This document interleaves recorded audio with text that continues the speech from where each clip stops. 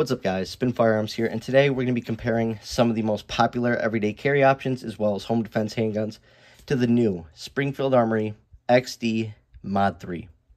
Now, if you know me, I wish they made a subcompact, but this thing is definitely going to find its place as a home defense or something along those lines. But basically what I do, if you've never seen this channel before, is I'll compare it to a lot of these different handguns. And the only reason I do that is to show you guys size. Um, I've noticed a couple other people have started picking up off this idea um, because it is a great idea. It makes it so you can compare handguns. A lot of these FFLs won't let you take two out at once, and it's quite annoying to run around and ha have them compare it to everything. So basically, I grabbed a couple things from the stash, some of my favorite handguns, some stuff I would thought would match up well, and we're just going to compare them size-wise and capacity-wise. Capacity is the big thing that I'm trying to point out um, during these videos and how, you know, how well they'll carry and stuff like that.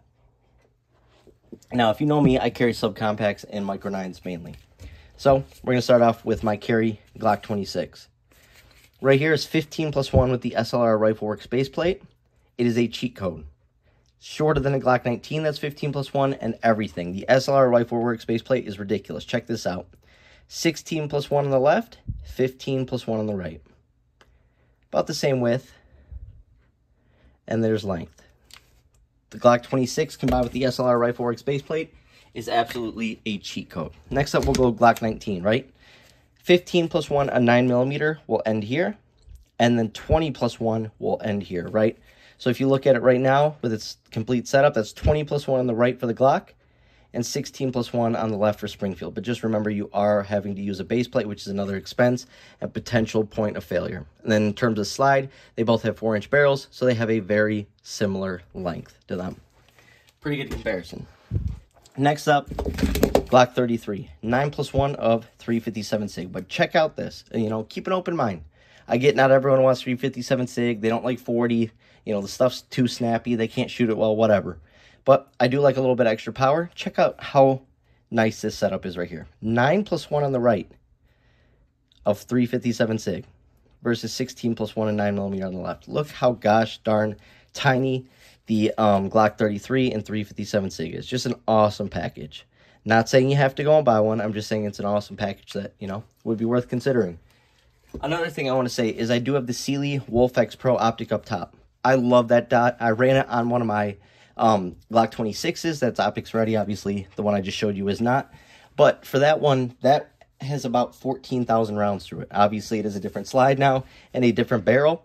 But the X-Wolf was on there for a couple thousand rounds. Not a single problem. This is a brand new one I picked up. So this setup right here ends up being around $550. 300 is the price tag for the XD Mod 3 in stores, online. Do not buy it if it's over, you know, 320. I've seen them, you know, seen some stores jack it up to 350 pay around 299 to 320 somewhere in that range and it's a heck of a deal. Um, and that's typically what i've been seeing them for right? Really good ergonomics on this. I do have to point out really good ergonomics on this handgun. I'm very impressed. All right Canik meta mc9 right here. This mag is going to be 15 rounds so 15 plus 1 and i know it's got the awkward slide on the meta but pretty good comparison. You can see where the springfield gets the extra round from. Then up top and overall footprint. So obviously the Canik is much easier to carry, but I have had reliability issues with that Canik. Next up, the Shield Plus in 30 Super Carry. What's amazing about this right here is 13 plus 1 of 9 millimeter power, basically. 30 Super Carry is thinner, um, but is, you know, more pressurized and has similar ballistics to 9 millimeter. 13 plus 1 of that on the right, which is crazy. 14 rounds on the right is crazy. That's why people need to go out and buy this round. I'm telling you. The more people buy it, look at that capacity. It's a flush mag on a shield. The original shield, I don't think I have mine down here. I only have my shield plus. Oh, no, I do. That's 8 plus 1 with that extension. This is 13 plus 1. That is crazy, but just thought I'd point that out. 13 plus 1 versus 16 plus 1. Sorry, guys.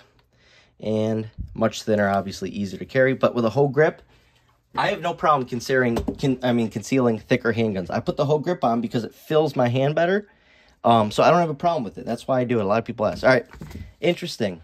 XD9 subcompact, mod 2. This is not the one with 14,000 rounds through it. I got this used not too long ago for 325 if you see something like this, pick it up. I actually bought these two a couple days apart as they were sold to the used counter by the same owner. Look how flawless. Every scratch on it, every bit of use was from me.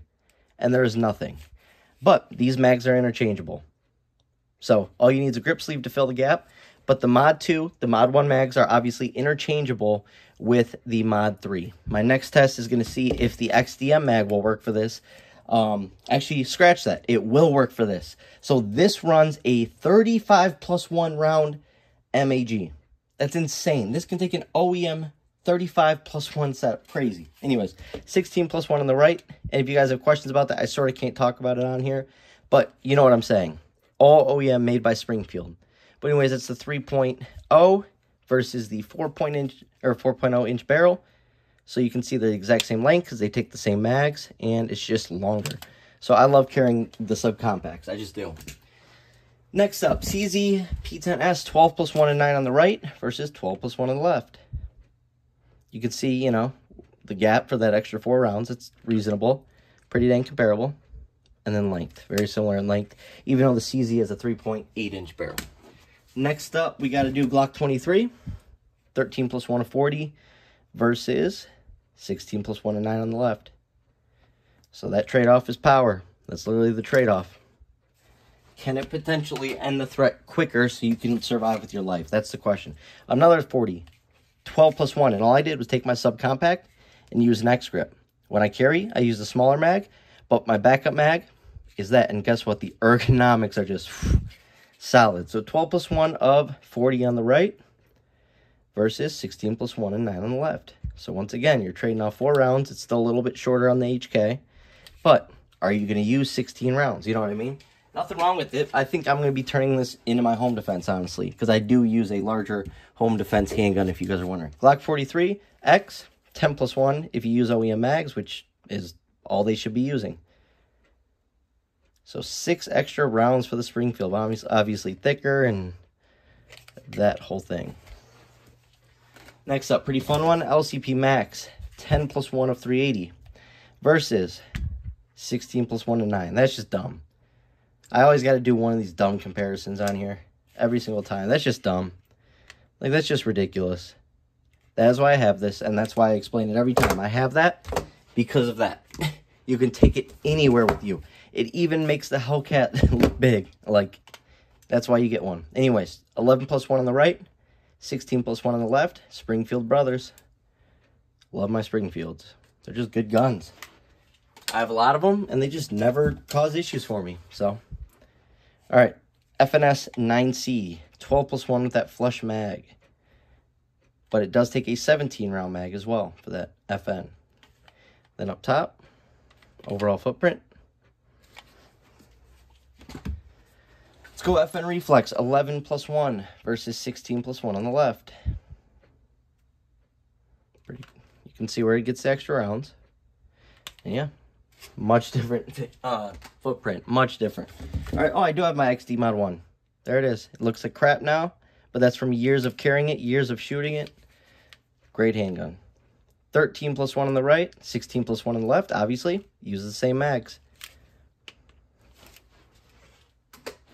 Let's go Shield Plus, 13 plus 1 and 9 millimeter versus 16 plus 1 and 9 millimeter on the left.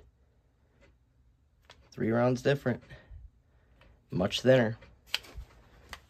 I, I, the more I hold this and the more I've been messing with it, manipulating it, and working on everything, the better it feels. The only thing that needs to be broken in, which will break in with time because I already started using it, is that mag release. It's a little stiff, so what I did is I just went like this all night or not all night, obviously, but for a good portion of the night, whenever I'd get the chance, do five minutes here, five minutes there, and it started loosening up. So it just needs to be broken in.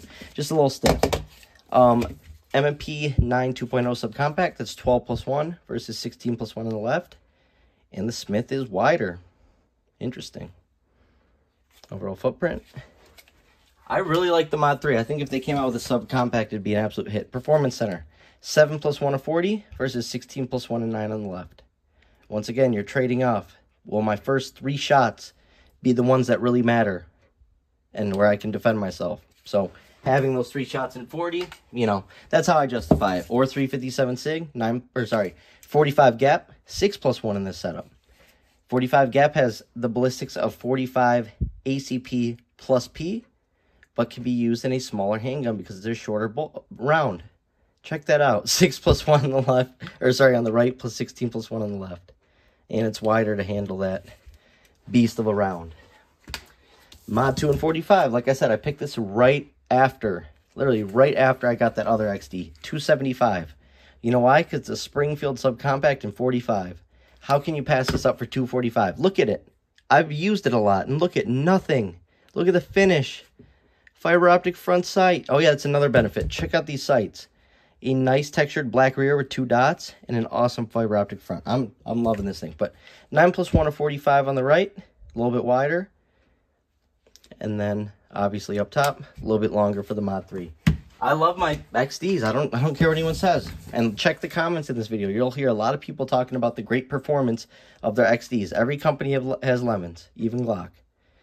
Um, that's going to be 11 plus 1 on the right versus 16 plus 1 on the left. That's the Kimber Mako R7. I actually really like that Kimber. Um, I never was, oh, sorry, 10 plus 1. I was never the biggest Kimber fan, but the Mako was actually made me a believer. I love the Mako. It is a great carry gun. It has a really nice trigger on it. And once again, CATX Pro, love this dot. This setup is actually a sick, sick setup. The finish is flawless on it. It's a good solid handgun. Anyways, that's the XD Mod 3. Love this thing. 4 inch, really nice, well made, affordable just a great overall handgun. So, you know, keep your eyes out for it. Like I said, 300 to 320, it's a great value. Thanks for watching, guys.